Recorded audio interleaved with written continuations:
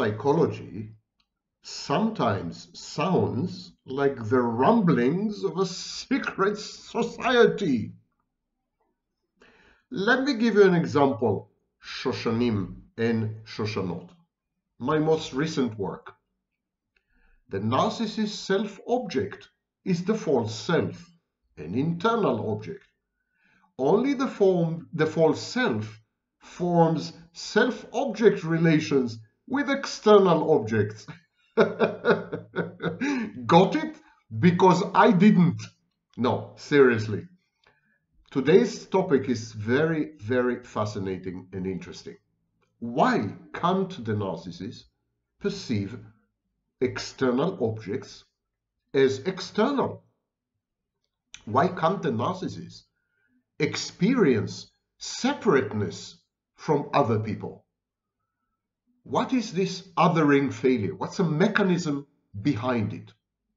And to try to explain it, I use the work of Heinz Kohut, one of the giants of modern psychology, and his self-psychology, more precisely, the concept of self-object. And who am I? My name is Sam Vaknin. I'm the author of Malignant Self-Love, Narcissism Revisited, the first book ever on narcissistic abuse, and I'm a professor of clinical psychology. Let's start with the definition. Self-object is how you experience another person. You remember that in many, many schools in psychology, people are called objects, which tells you a lot about psychologists. So object is person. Another person is another object. Someone that is not you is an external object. A representation of that person in your mind is an internal object. Get it? Shoshanim. Okay. Self-object in self-psychology is how you experience another object, another person, as part of, part of your own self. How you experience others as elements of your self, figments of your mind, components, ingredients. So not, you don't experience other people as separate from you, as independent from yourself, but you experience them as incorporated within you, at least mentally, metaphorically, as if you have assimilated them or digested them. And this is actually a process that happens to with healthy people, not only with narcissists. Even healthy people have self-objects. Even healthy people experience other people as an integral part or integral parts of their selves. The self, therefore, is comprised of, among other things, impressions or interactions with other people elements of other people. When the objects, the, the other person's actions affirm your narcissistic well-being, when they cater to your healthy narcissism. For example, when the actions of another person enhance your self-esteem, make you feel more self-confident, more worthy. At that point, you treat this other person who makes you feel so good as a self object. That other person becomes integrated with yourself. The actions of that other person, the words that other person is saying, the utterances of the other person, everything that emanates from the other person, everything comes out of the other person, and that has to do with you, becomes part a part of your self. Now, of course, this could become a pathology, like everything else in, in uh, psychology. Uh, the most benign things can become pathologies. In narcissism, for example, the narcissist is unable to relate to other people as separate. The narcissist keeps asking, what's in it for me?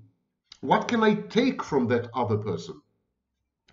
And then the minute the narcissist obtains something from the other person, that other person becomes an integral part of the self of the of the false self of the narcissist.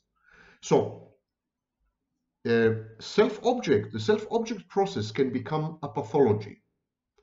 But before we go to the pathology, and we will go there, I promise you, before we go there, I will recap. The self-object is one's experience of another person, another object, as part of rather than as separate and independent from one's self, particularly when the object's actions affirm one's narcissistic well-being. The self-object, therefore, is an object, another person, which is used in the service of the self, or objects, other people, which are experienced as part of the self and provide functions of the self. It's as if these other people out there were at the service of the self. They were employees of the, of the self. and so the self came to appropriate them, came to regard them as property. These other people performed functions. They provided feedback. They interacted with the self. They, and these functions became very crucial for the functioning of the self. And so the self incorporated the functions and the sources of the functions. These people, these objects, these external objects became in many ways internalized as self objects. Got the picture? That's the foundation. We'll discuss it much more in depth a bit later.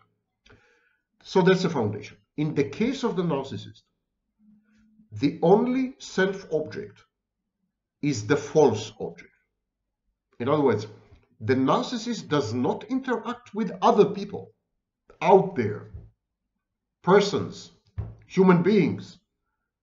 He doesn't, or she doesn't. Half of all narcissists are women. The narcissist, the narcissist interactions are totally internalized. The narcissist never interacts with an external object with someone out there, someone separate, someone external. No such thing. And the reason, of course, is that narcissist does not possess a self. Narcissism, pathological narcissism, is a disruption in the formation, integration, and constellation of a self.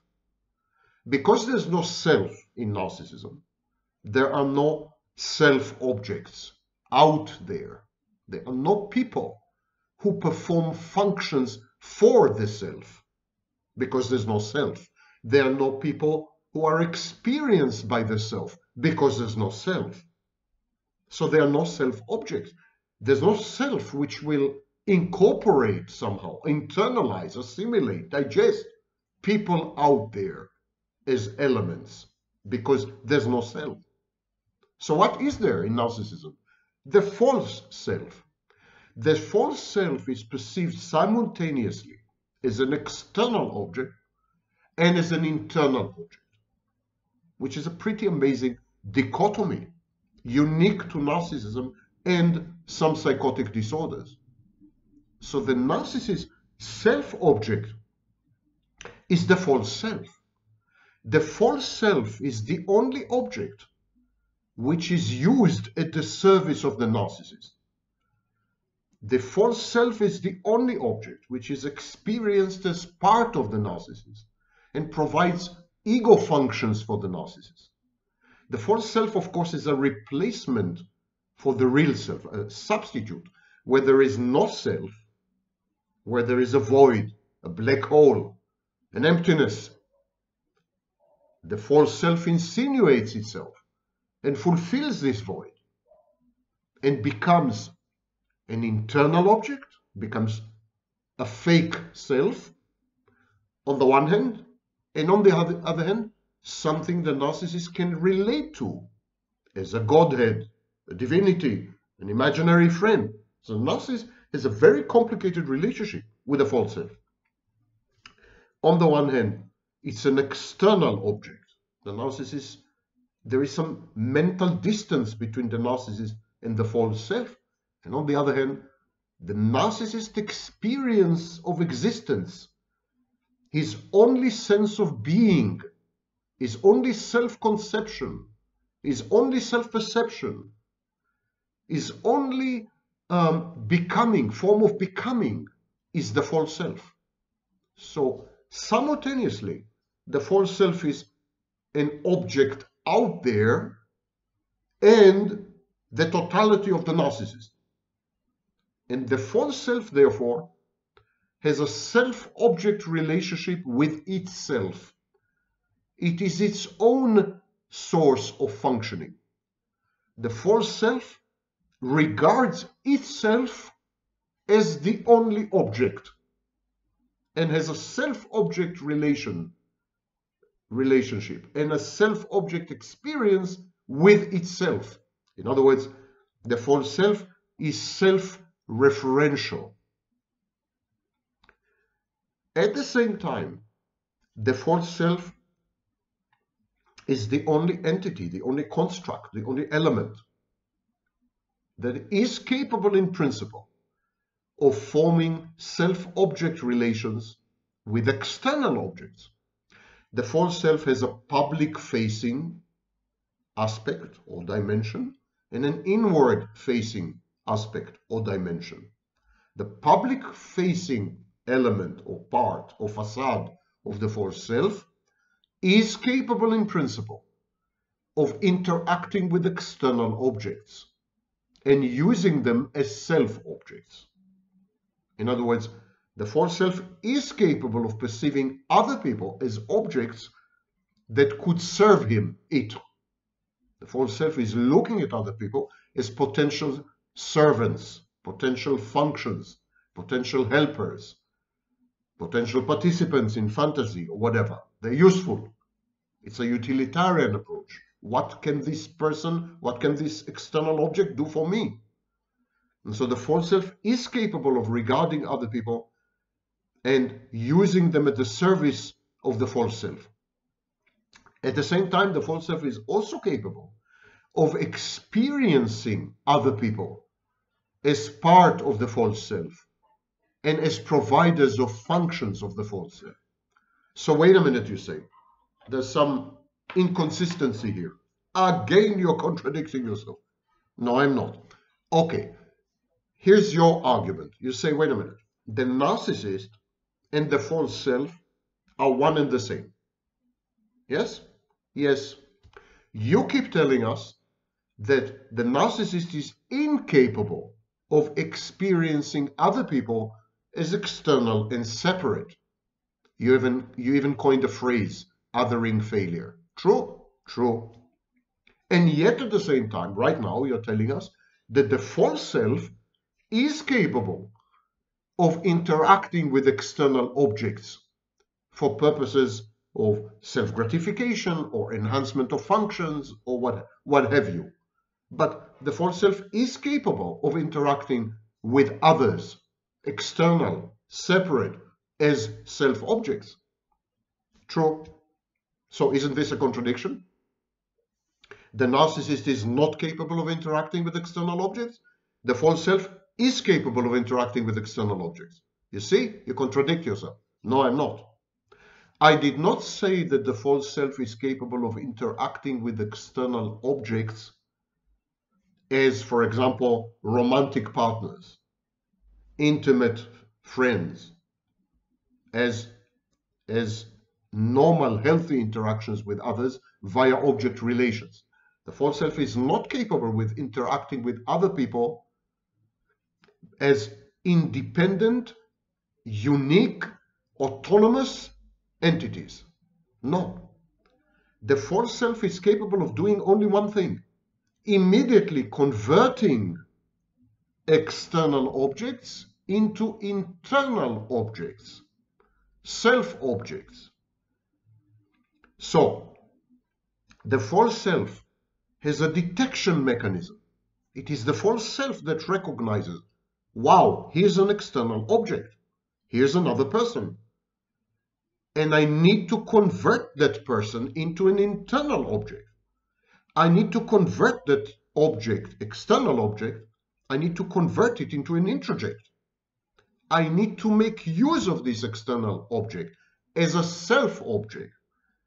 I need to deny the external object the externality and the separateness and the independence and the personal autonomy and the self-efficacy and the agency that they have. I need to render the external object no longer separate from me, no longer external, but internal and my extension. So, what I was saying is this. The narcissist uses the false self as the mechanism of converting external separate objects into internal self-object objects. That's all I was saying. Definitely, the narcissist is incapable of recognizing the externality and separateness of external objects, or at least accepting them. He immediately converts everything to internal objects, and this is done via the false self, who, which requires self-objects for functioning. The narcissist, on the other hand, interacts with the false self as if in some ways it was an it were an external object. So the relationship of the narcissist with of the narcissist with the false self, with his or her false self, is ambiguous, is equivocal. On the one hand, the false self is definitely an internal object, so 100% internal object. It's a concoction, it's a piece of fiction. On the other hand, the narcissist need to believe in his own or her own grandiosity, in the fantasy, shared or not, forces the narcissist to attribute or misattribute to the false self externality and separateness, as if the false self were an observer, someone from the outside. So if the false self informs the narcissist that he is a genius, it is coming from the outside.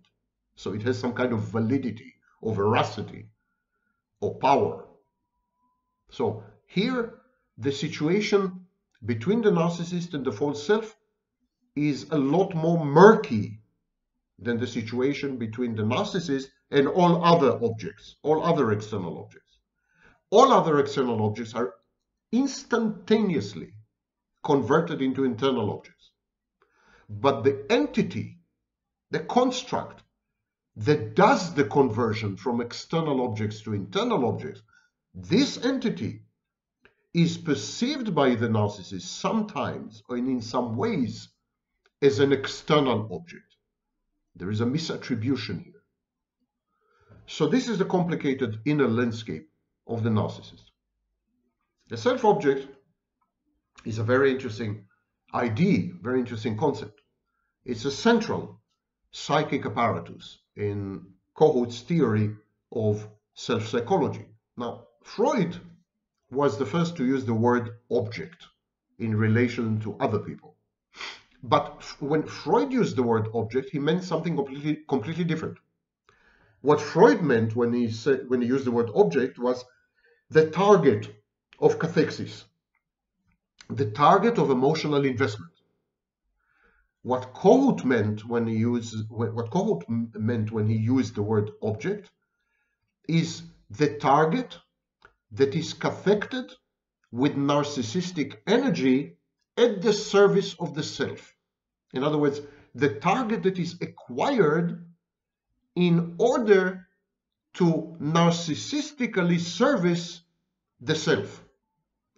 So, in Freud's work, the object is infused or imbued with psychic energy, the libido, but is still kept at arm's length. It's clear that the object is external and separate. In Kohut, the minute the object is cathected with narcissistic energy, it becomes an integrated part of the self and at the service of the self. That's a major difference, of course. Freud believed in subject and, and object. He, is, he was Cartesian in this sense, the dualism, Cartesian dualism. Kohut did not make such a distinction so clearly. He said, I don't know what's, what is external and what is internal. I'm not quite sure about this. I don't know what is object and subject. I'm not quite sure about this. I think that every object has prominent subjective dimensions. Every object is immediately somehow incorporated into the subject. Every object becomes subject to interaction, becomes a part of the subject, part of the self. He said, everything, every every person, everything, not only every person, is subject to internalization. We always experience the subject in relation to the object and the object in relation to the subject. We have these experiences and we internalize them, and they become who we are, these experiences.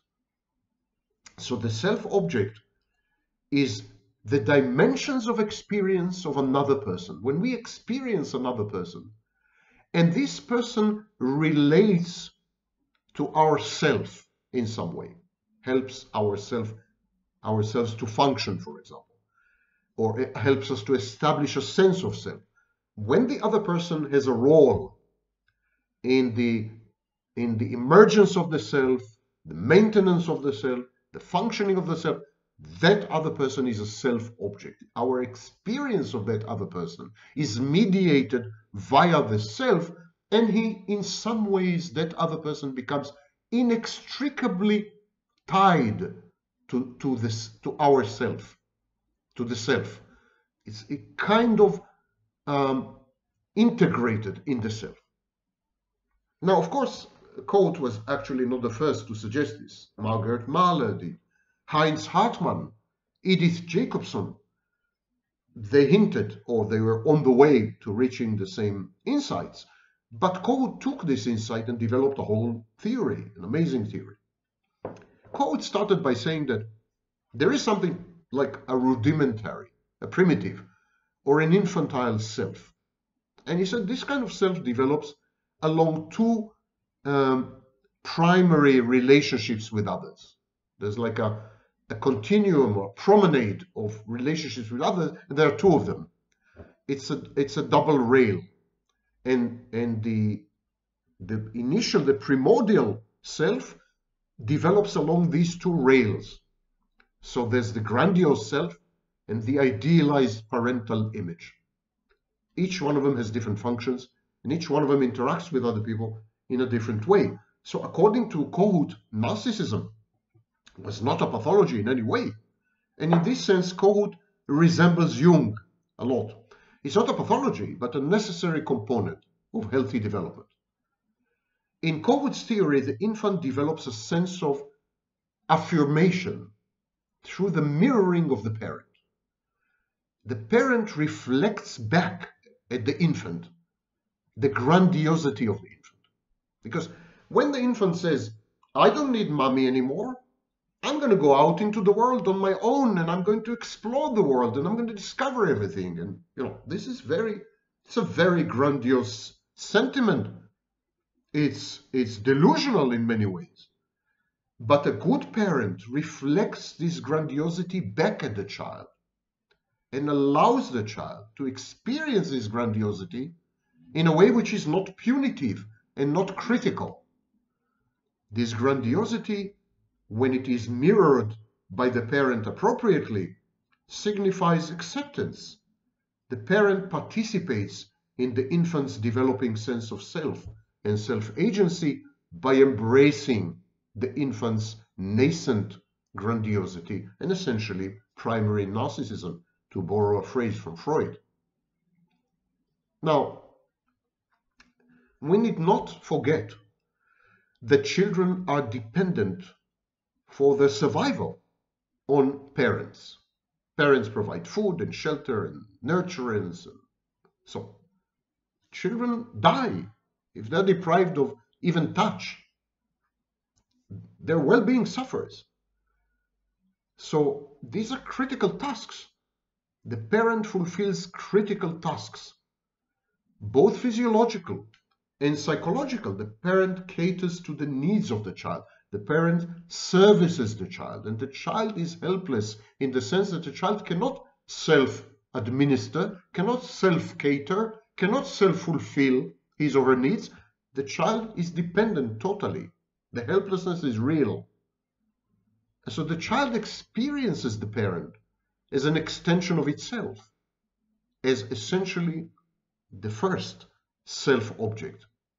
Effective parental mirroring builds the child, the child's internal confirmation, self-agency, and creates healthy self-objects. Self-objects that do not reject, self-objects that do not attack and do not criticize and do not punish, but self-objects that accept, that embrace, that contain, that enhance. And these internalization aid the child. Because now the child can act in the world and on the world and gradually become more and more self-sufficient, more and more able to meet her, his or her needs. This mirroring enables the child, empowers the child. If the need for mirroring is absent or inadequate, the child grows up to feel deficient. This kind of child spends a lifetime seeking self-objects to fulfill this gap. It's another way of looking at the need, the compulsive need for narcissistic supply in order to maintain the fragile, precarious internal balance, which is brittle. And so the psychic structures of the self in Kohut's work are built through the process of transmuting internalizations. We internalize the world and we become via this internalization. It is very reminiscent of the work of Jacques Lacan, actually. Through the process of optimal frustration of the child's narcissistic needs by the parent, the child, child's emergent self develops. The child has needs, and most of these needs are narcissistic. The parent's role is to frustrate these needs so that the child draws back and notices that the parent is an, a, a separate entity, the emergent self provides mirroring and idealization through mature relations in the future, external internal fun functions of mature self-objects. The frustration of the narcissistic needs in early childhood, frustration that is done compassionately and lovingly, of course, not rejection, frustration. This creates an emergent self. Gradually, the self looks for gratification, looks for functioning, looks for satisfaction elsewhere. And this is object relations. This new self will no longer look to the parents, but will look to an intimate partner or to a friend. So the new self that has emerged as a result of parental frustration is capable of idealizing, self-idealizing, and self-mirroring via other people, converts other people into self-objects, idealizes itself through other people. And this, of course, creates boundaries. I stop here, the world starts, the world stops here, and I stop. This is external internal. And this is, of course, the key failure in pathological narcissism. According to Kohut, the way you experience yourself is the unconscious experience of self in relation to objects. The self is nothing but the sum total of self-objects, according to Kohut. The individual experience of I, you know, is is the experience of I in relation to others. There's no I isolated from others. It's relational. When you say I, it's I in relation to who? To what? To, to others. To others. You are experientially connected to other people. The experience of self is crucially dependent on the self objects, which are integrated into the self. So the self itself or at least the experience of self, changes as the people around you change. When you change environment, across time, context, different relationships, your sense of self, your self-conception, your experience of self fluctuate, change, metamorphose. They're different, metamorphose, they're different. The concept of self-object is not is not an object in the interpersonal sense. You know, when I keep saying object, other people and so on, what you imagine is there's this other person, there's me, and there's a relationship. No, because in this case, the other person cannot fulfill self functions, cannot, cannot help this yourself to function in any way, cannot service yourself, cannot become a self object. The self object is the inner experience of the other person. How you experience the other person. It's the inner experience of the object and the functions of the object. And that helps you to establish a sense of the self, which is actually nothing but the combination or compendium of all the self objects you have ever come across. Self objects are not necessarily selves and they're not necessarily objects. They are the internal subjective experiences of relationships. And the way these relationships, or more precisely, the objects in the relationships, provide the self, yourself, with functions, with functioning, help you, to cut a long story short. The rudimentary infantile self that we mentioned earlier is immediately bound to the experience of external others and their self-object functions. As we grow up, self-object, self-objects could be anything. They could be people, they could be works of art, They could be music, They could be literature, religious traditions, beliefs, etc. Anything that is experienced, that is external, and helps to regulate the self, helps the self with some functions, and becomes an integral part of the self, is a self-object. Doesn't have to be a human being. In adulthood. In early childhood, it has to be a human being, but in adulthood, no. Mature individuals turn to self-object functions of abstracts, symbols, and these fulfill the deepest emotional and self needs. So, according to Kohut, the core nuclear self is developed through mirroring, idealizing, and the optimal frustration of these needs. There's an optimal response of the caregiver The caregiver has to meet the mirror, the need for mirroring. The caregiver has to allow the child to idealize the caregiver. And the eventual frustration of those needs pushes the child to separate and individuate, to use Margaret Mahler's terminology, to become a self. Child internalizes the self object and the nuclear self emerges. The parent must allow the child to idealize the parent. Because when the child idealizes the parent, it reduces anxiety, it comforts the child, it allows the child to develop a notion of secure base. Essentially, it's a merger with the perceived strength of the parent as a godlike figure. When, you, when the child idealizes the parent, the child feels empowered, I, my parents are ideal, I'm protected, I'm safe. The rudimentary self usually is in a very early stage of childhood when the child is totally dependent. The only way to meet the child's needs is, is through the parental figures. And so the child internalizes this dependency. But in order not to feel threatened that it is dependent on some bad object or some on some monster, on some.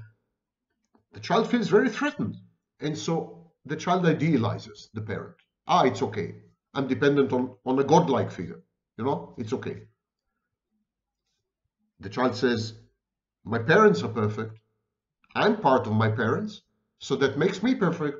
And because I'm perfect, I'm a good object and I'm deserving of care and compassion and love and, and support and succor the this continues throughout life, in adulthood as well. But the difference between pathology and maturity is that a mature adult definitely uses aspects of other people to regulate his or herself. In other words, uses other people as self objects. The narcissist, but the mature individual, the mature adult individual, doesn't make the mistake of regarding other people as extensions, as pieces of fiction, as elements in his mind, as internal objects. The narcissist does this. This inability to recognize the separate and externality of others, the othering failure, is at the core of pathological narcissism. This is the first lecture of two on self-objects. There's another one coming. You're warned. Take cover. The other one goes much deeper into the relationships between a healthy self-object and a sick self-object or a patholo pathological self-object and how this, the pathological self-object, manifests in narcissism. So stay tuned.